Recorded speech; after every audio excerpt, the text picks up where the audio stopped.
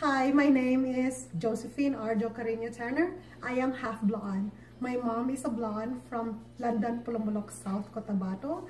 And uh, this video is intended to share to people, especially to those that are not able to spell uh, blonde and pronounce blonde right. The spelling is B-L-A-A-N. There's no apostrophe in the word blonde. No letter was taken out or omitted to be replaced by the functionality of an apostrophe. There are so many references of other people about the Blaan like bilaan, bilanes, biraan, balaan. That is not what we call ourselves. My folks on the mother sides just say Blaan.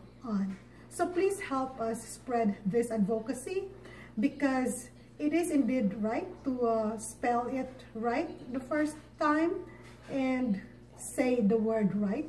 And yes, it is Blaan, all right? For more information, please join our advocacy at www.kafyublaan.com. Thank you. Bong salamat.